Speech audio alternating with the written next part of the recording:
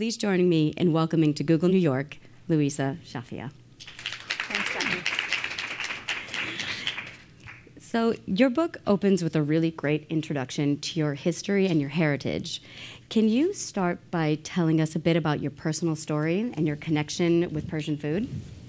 Sure. Well, my dad is from Iran. Mm-hmm. He grew up in a town called Qazvin, which I am not saying in a nearly guttural enough way. It's really Qazvin.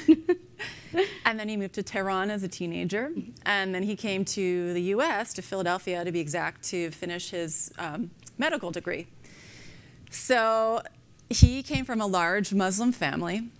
And in Philly, he met my mom, who is an American Ashkenazi Jew. Very interesting. And they fell in love and got married. And so I grew up with a very diverse households in Philadelphia. And, you know, as most Iranian men, my dad wasn't doing a ton of cooking, but my mom wanted to make the dishes of his homeland that he loved. So she really taught herself how to make Persian dishes. And so, you know, maybe once every few weeks on a Sunday, my mom would start the long, slow process mm-hmm. of making a big Persian feast for us. And my dad would help. I got to give him credit; he would help. And um, but I, these flavors weren't kind of my everyday flavors. They were just part of part of my world. It wasn't until I was an adult and really exploring all different kinds of culinary traditions that I kind of realized this awesome food heritage that I have. Yeah. Did you do? Did you grow up cooking with your mom, or was it something that you explored later on in life? Like, how did you find that interest in cooking? Yes, I was recruited by my mom at around age five, no joke, to uh, help prepare for dinner parties and gatherings that she would have. My mom loves to entertain, and she's an amazing cook herself. I'm, I'm sure that's where I got the, the bug to love to cook. And uh, but you know, she would have us, my sister and I, prepare crudité platters and very simple desserts and, and omelets. And so I just grew up feeling very comfortable experimenting with food. So that's for sure where it comes from. That's so interesting. And this is your second cookbook that's out. And you've also written for numerous, you know, numerous articles for publications, Food 52, The Wall Street Journal, how did you get interested in writing about food? Was that something that was also from a young age, or was it something that you found when you were older? I really got into writing after I had my catering company for mm-hmm. a couple of years. I, I had a, a, catering company called Lucid Food mm-hmm. that was all about sustainable catering, really bringing the world of eco-friendly thinking and locavore approach to eating mm-hmm. to the world of fine dining. You know, doing something more interesting than pigs and blankets at you know nice corporate events, and uh, people got really excited that you could have these beautiful, elegant hors d'oeuvres that you know were all sourced from the farmers market, and everything was being you know composted along the way, and no one was really doing it in New York at that time, and people were so curious and excited by this because they, they hadn't really come across it before that that's when I got inspired to write my first cookbook, mm-hmm. which is seasonal cooking mm-hmm. and eco-friendly tips for the kitchen. And I just kind of wanted to take all that experience that I'd gotten with my catering company and all those things I shared and share them with a bigger audience in a book. Interesting. So this book is called, the new book is called The New Persian Kitchen. What is your definition of the new Persian kitchen? Well, the new Persian kitchen well, I should say in context, Persian cooking mm-hmm. has a very different timeline than, say, American cooking or even European cooking. Persian cooking goes back literally thousands of years. So, at the ruins of Persepolis, which was the ancient ritual capital of the Persian Empire, mm-hmm. of what is now modern day Iran, the makings of fesenjoon stew, which is one of the most iconic stews eaten today in Iran. It's made from ground walnuts and pomegranate molasses. All the makings of that were found uh, written on stone tablets at, at Persepolis. So even back then, they were using pomegranates, they were using walnuts, they were using parsley, they were using uh, garlic. So when you say the new Persian kitchen, um, you know, it's taking something that's very ancient and kind of riffing on it. So my, I'm sort of doing a take on Persian food that's very much inspired by this ancient cuisine, by the very um, sensuous ingredients like saffron and rose water and sumac, and kind of filtering it through my own very healthy way of eating. Mm -hmm. So putting in whole grains instead of white rice, um, cutting back on sugar, really trying to put the emphasis back on fresh fruits and vegetables, which really are the foundation of Persian food. So the inspiration for this cookbook would be, was it founded more in your heritage? Was it wanting to express, you know, your new techniques and connect them back with your roots? Like, where did this inspiration come from to write this book? Well, I entered the professional culinary world uh, with a, a, very strong focus on healthy cooking. In fact, I was vegan when I started my career as a chef. That's interesting. yes. And I went to a very healthy cooking school. It's called the Natural Gourmet Institute. It's here in New York. And I was vegan at the time I entered. All of my teachers at the school were middle-aged women, and they all told me being vegan was the worst thing I could do for my health. So I left cooking school no longer vegan. And uh, after I finished, I moved to San Francisco to cook at this awesome vegan restaurant called Millennium. And I have to say, one of my first meals in San Francisco was at Luna Park. Really? And I had fish for the first time in a few years. And I'm bringing that up because you said you used to work there. That's how I got my start at Google, was as a hostess at Luna Park, in case you guys wonder. Yeah. great restaurant. It's a great restaurant. Still open, too. Still going strong. Yeah. Um, but so, yeah, so I started cooking at Millennium, loved it, was so inspired by all the different ingredients we were using. You know, in San Francisco at that time, that was 2001, everyone was already deeply into the locavore thing, and we had farmers coming to the back door of the restaurant dropping off, you know, foraged mushrooms and chilies and all kinds of cool things. So one day, my chef asked me if I would come up with a new dish for the menu, and you know, we were already using a huge diversity of ingredients, you know, Korean things, Japanese, African. And my first thought was, what can I do that no one's done here yet? Nice. And I knew nobody had done Persian food. I just knew it because there's not a lot of Persians or Persian restaurants in the Bay Area. And so I thought, I think I'll do, I'll try Fessenjun, which is pomegranate and walnut stew, usually made with either turkey or chicken or sometimes duck. Hmm. And I did a vegan good. version of it. It's the ingredients are magical. That combination of the bitter walnuts and the tart and sweet pomegranate, that's so kind of all you need. And it almost doesn't matter if there's meat in it or not. It's just so good. So I didn't know how to cook with any Persian ingredients at that time. It was a, a huge process of discovery for me. And I, you know, I found some different versions of recipes for Fessenjun and I muddled my way through it and came up with something. Everyone tasted it and said, whoa, what is this? This is so great. It's sweet and it's tart and it's rich and, and it's beautiful. You know, I added some um, grated red beets to the dish to make it a beautiful deep red color. And it went on the menu and everyone liked it. And that was really the start of me discovering this amazing food heritage that I had grown up with but had never been aware of. So cool.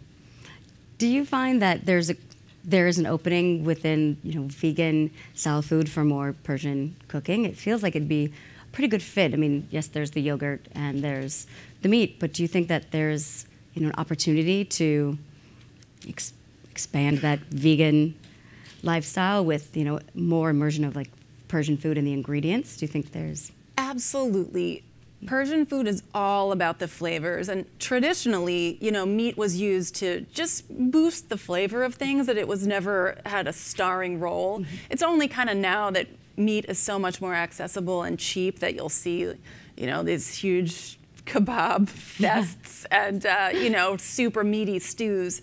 But traditionally, meat was just a small element, and you can do these dishes completely without meat. If you're doing you know, there's all these classic stews like like Fessenjun. There, there's Badamjun, which is eggplant and tomato stew. There's ghormeh sabzi, which is herbs. It's all green herbs when it's finished. It's this beautiful, vibrant That's green color. So nice. And uh, it's it's really flavored with something called dried limes, which is a very particular Persian ingredient, and it's kind of like lime times 12 because you cook with I the read whole about that in the lime. book, and I was like, "What is this dried lime? I want to try it." Oh, they're It's so, good. amazing. They're super sweet and uh, and kind of bitter at the same time, but it's all about those flavors. So you really don't need the meat. And in my cookbook, I try and give a vegetarian or even a vegan version of all of the meat dishes because the whole point is to make use of the fruits and vegetables. And here, I want to point out that Iran always had an abundance of fresh fruits and vegetables and herbs, very much unlike a lot of other parts of the Middle East. But Iran has a temperate climate, it has four seasons. It's surrounded by two mountain ranges that are covered with snow uh, throughout the whole year, which most people, I'm sure, think of Iran as just a big desert, but it's not. There's, you know, there's marshy areas and meadows and mountain ranges and very, very diverse um, geography. But the ancient Iranians figured out a way to bring the melted snow water from the mountains into vast desert areas and have these lush gardens growing in, in the desert. Yeah, they're. I mean, the irrigation systems are something that's, you know, known historically that they've been able to develop this amazing, these amazing lush gardens, and it's depicted in books and stories and movies, and it's really fascinating. And I feel like that comes across in your book really well through your writings, but also through the imagery and through your emphasis on herbs and on produce, and even taking different, you know, like the limes, which were fantastic. There's like a bit about caramelized onions too that I just, it's so interesting how you take fresh ingredients and you can just build and build and build these really amazing dishes. Yes, and thank you for bringing up the caramelized onions. Caramelized onions is something you see in many, many Persian dishes. Mm-hmm. It's often used as a topping for things, and that is a great way to bring a foundation of really deep, rich flavor into a dish, even if it doesn't have meat. So if you're trying to make these dishes vegetarian, mm-hmm. take the time to make some really nice, slowly cooked caramelized onions. They they will fill in for the flavor of meat and, and really round out a dish in, in a very powerful way. It takes a little time. It can take about an hour to really do it the right way. You know, you start on high heat with your with your thinly sliced onions, then reduce the heat and just let them cook down, cook down until they're really dark and just a fraction of their size. And they're good. mm, sweet and rich and smoky, everything you want. So good. Do we have caramelized onions today in the cafe? We do. I hope we do after that description. So, talking, you know, again, like there's these amazing traditional ingredients, and your, you know, culinary interests and and personal interests in vegan food. Um, this the recipes in this book are really they are a mix of like traditional and innovative. And can you tell us a bit about how you curated the recipes in this book and how this collection came together? Sure. Well, it was kind of a process of discovery. Um, I had originally wanted to go research this cookbook in Iran, but I wasn't able to get the documentation to go, and I was very sad about that. And then a friend of mine said, Why don't you just go to Los Angeles? and if you don't know, Los Angeles has the biggest Iranian population outside of Iran. And a lot of my extended Iranian family is out there. I have at least 20 family members out there. And I thought, oh, that's a great idea because, you know, I won't have to wear a, a chador and cover my head and I'll be able to get around and, you know, I speak the language, English. so I went out there and, um, you know, kind of in my honor of being out there, we had all these amazing family feasts. That's so cool. It was so cool, you know, these all day feasts. You know, you get there at 12 or 1 on a Sunday and you leave at maybe 9 or 10. You know, you've had about three rounds of food and you're just feeling super happy and tons of black tea in between every meal. And, you know, from that, I got to kind of see the favorite dishes that everybody made. You know, sholeh zard, the sweet rice pudding with, with saffron. Um, rice with dates, adas polo, all these different dishes. So I got to see the ones that my family members really loved, and I got to taste those. And then I thought, okay, you know, I really like this one, I like that one. I'm gonna, you know, try my own recipe for this. And then my relatives took the time to get in the kitchen with me, so I would come over for these intense all-day cooking sessions Cool. with with my cousins, and you know, they showed me really step by step how they made some of their favorite dishes, like rice with. Um, fava beans and dill, which is just a beautiful dish for you know anytime that stuff is in season. And so I really learned that way. And then being there, I was able to shop at all these Persian grocery stores because I had all the ingredients on hand, like I had never had in New York. So you know, I could get rose petals, I could get um, you know date syrup, dried limes, uh, barberries, anything I needed, and just play around and experiment in my kitchen. And so through that process, I kind of chose some of those classic dishes from the Persian canon. They, they kind of have a canon of classic rice dishes, classic stews, classic desserts. Right. So I took some of those and then I just created some that were inspired by, like, um, there's a chicken dish in the book. It's turmeric chicken with sumac and lime. And I really Which wanted to have. today. Oh, yes, it's on today's menu. Looks so good. I can't wait to taste their version of it. But I wanted to make a dish that was encapsulated all the flavors of Persian cooking, but didn't take several hours and only used a handful of ingredients. So, you know, you just season the, the chicken thighs or breasts with a little bit of uh, turmeric and salt, sear them in a pan, then add some water and garlic and let it braise for 25 minutes. Take it out, season with some lime juice and some sumac powder. So you've got you've got a lot tartness in there. You've got saltiness. You got richness from the from the chicken, Nice. and it's really well rounded and full. So it tastes like you were cooking all day, but it's kind of for an American's modern, you know, tolerance of how much time you want to spend in the kitchen. Yeah, it's really one of the other things I loved about this book is that it is it's a book that's you can it's so useful. It's so just connects immediately. Like there's so many recipes in there that you could make in a tiny kitchen in Manhattan. You could also make in a huge kitchen in LA, and it's so it's so approachable that I just I kept flipping through and being like, I want to make this dish. No, I want to make this dish, and it's really, really vibrant and really amazing. And the ingredients that you talk about too are so vast, fantastic, but possibly not, you know, the most. Some of the ingredients, what I thought was interesting is that you, they may not be found in, in the form in the in the book of the recipes, but you give instructions on how to make them, or even sometimes substitutions, which I thought was really helpful.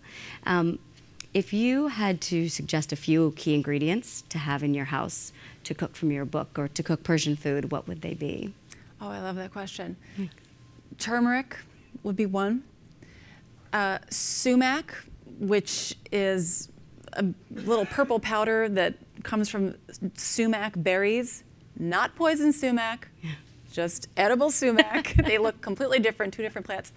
And it sort of serves the purpose of lemon juice, but you don't need to have a fresh lemon around. It's tart and kind of salty and Same. actually very high in vitamin C. Um, pomegranate molasses, which is just pomegranate juice cooked down, again, tart and sweet. Dried limes, which, you know, maybe aren't that easy to find in a store, but there's lots of places you can order them online and they keep forever. And I guess dried mint, which you can throw into any dish and transform the flavor and make it exotic and, and Eastern just, just by adding that at the end. Interesting, dried mint. I'm going to And add that. it's spearmint in particular. Spearmint. So it's not peppermint and it's not just general mint. It's really spearmint that has that real fullness and that real savory taste. and the difference too. I'm glad you clarified that of like spearmint versus peppermint. It's really interesting. Um, in your book, it states that according to Persian tradition, foods can either heat your body up or cool it down, and it's typically advised that you keep these energies carefully balanced. So, with that in mind, can you recommend a balanced meal according to Persian tradition?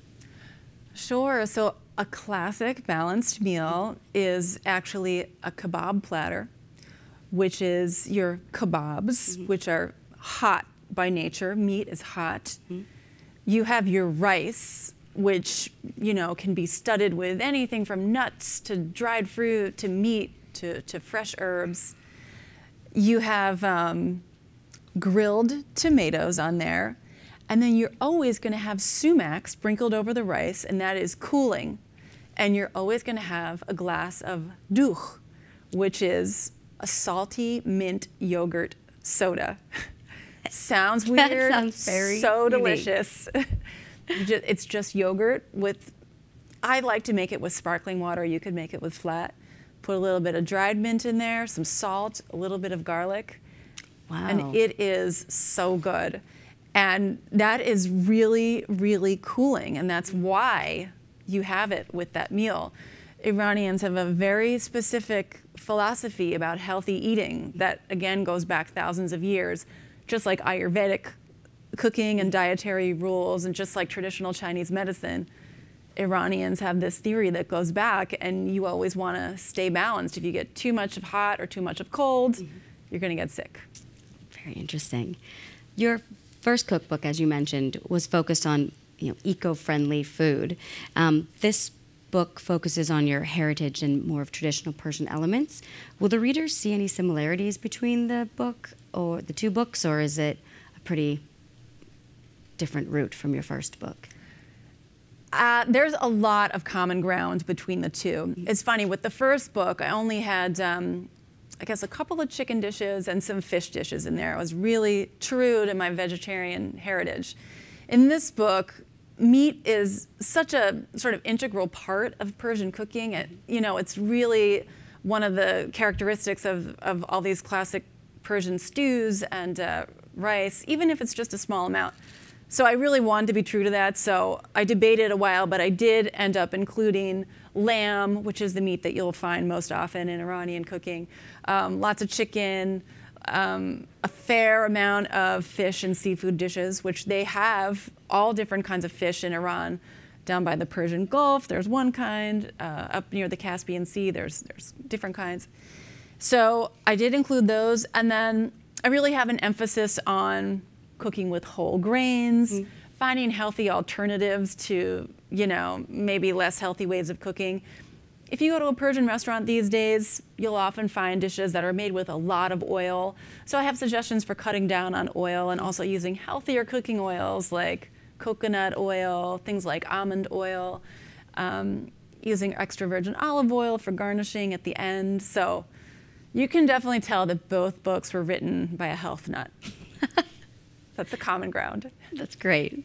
What was your favorite discovery of writing this book, your second cookbook? So you are familiar, you've written a book before, but what was your favorite discovery of this particular journey?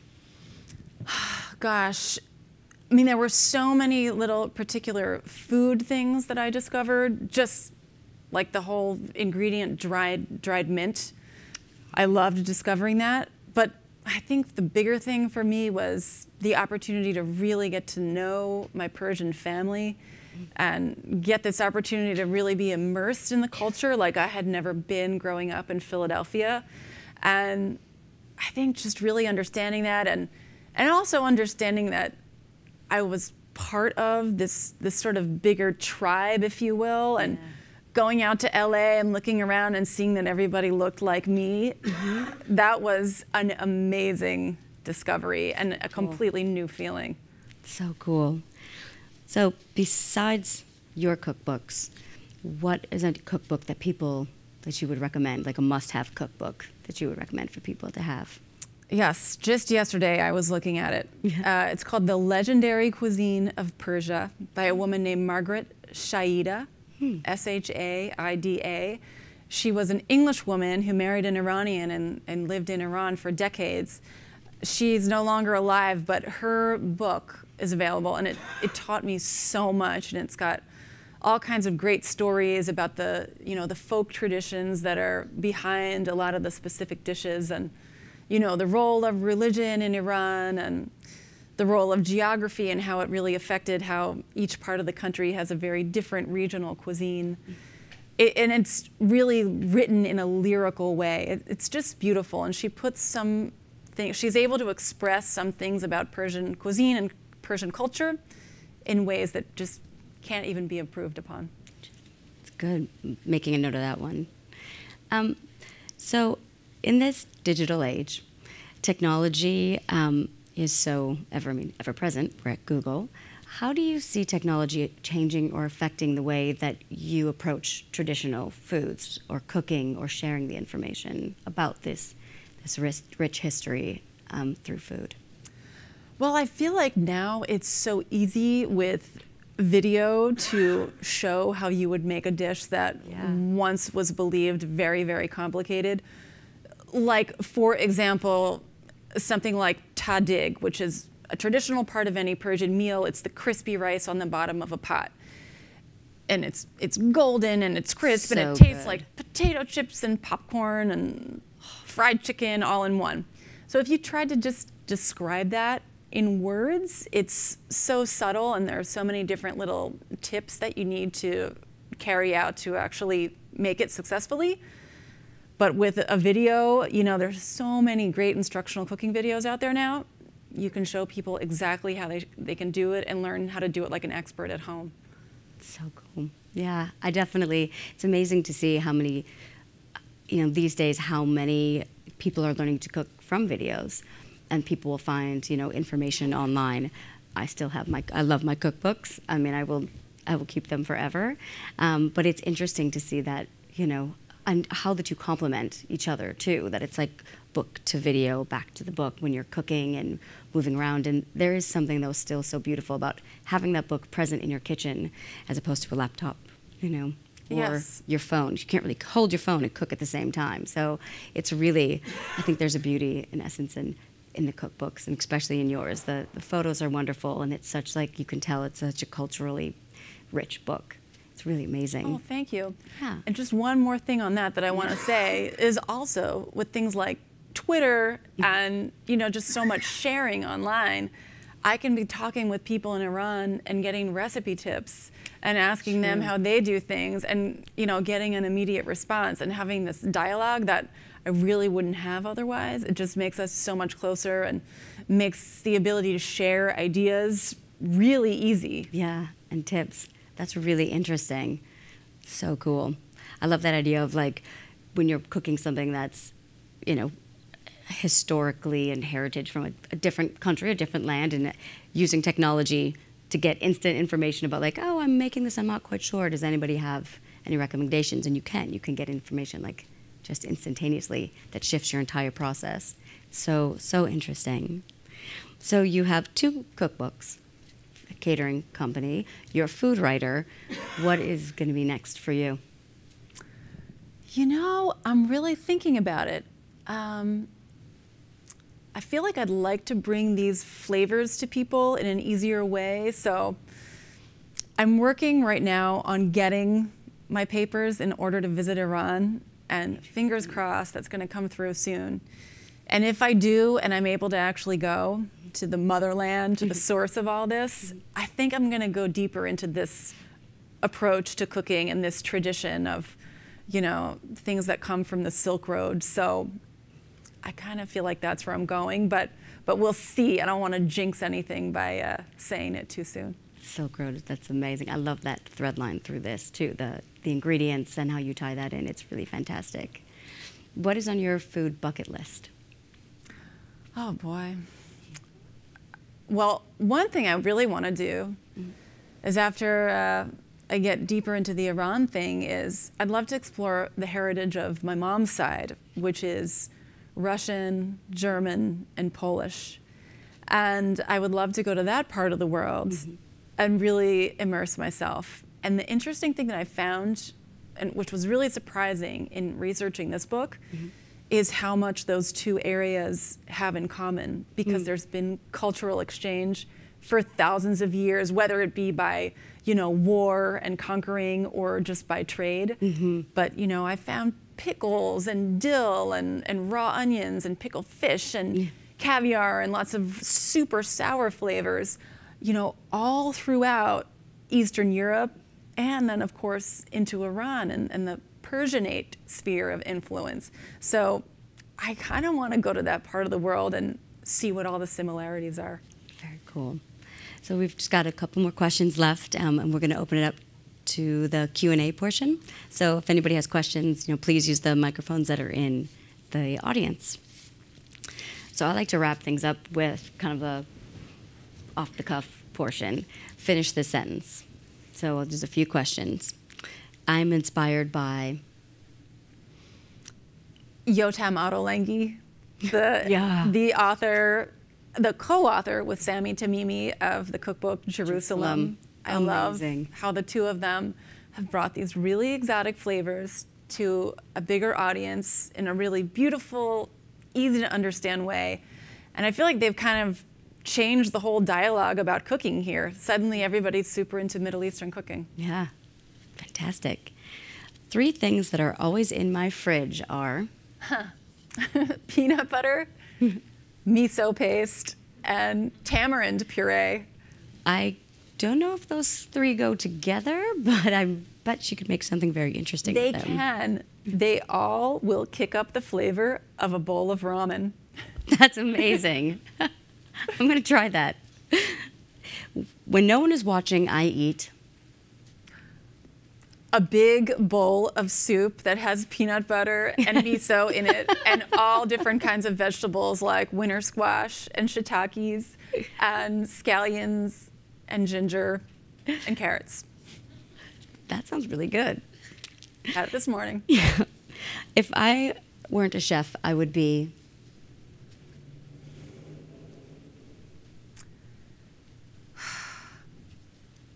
I guess I would be a full time writer, I can see you on your way to that. an academician, I should be more exact.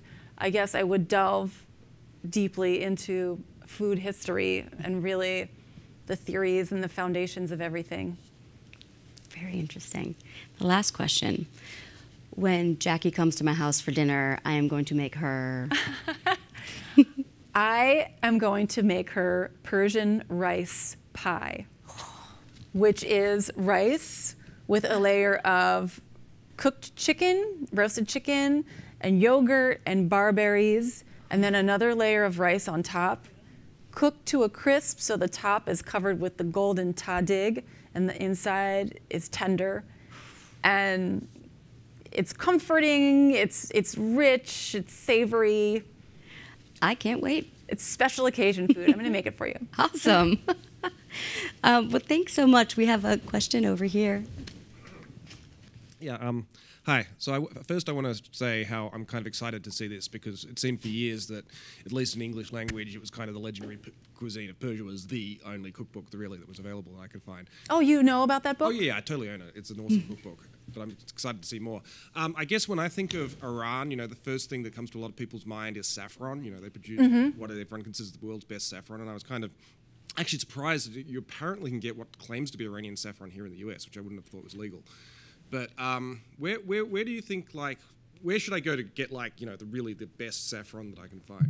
Do you know? Do you mean here in New York or just in general? Whatever. Here in New York. Let's try that. Well, let's start with here in New York. I Well, here in New York, I usually go to Kalustyan's. was going to Yeah, say. that's where I would go. Yeah, Yeah. right? It's amazing. But you know, you could also, um, I think, does Penzeys still have a store in New York? Penzeys, the mail order spice company, did they close? Oh, that's too bad because they have such high quality ingredients. Even things like sumac or saffron, I would go to them first because they're really fresh and they know their sources. So, so I guess there's no secret places in like the Iranian community where they like have.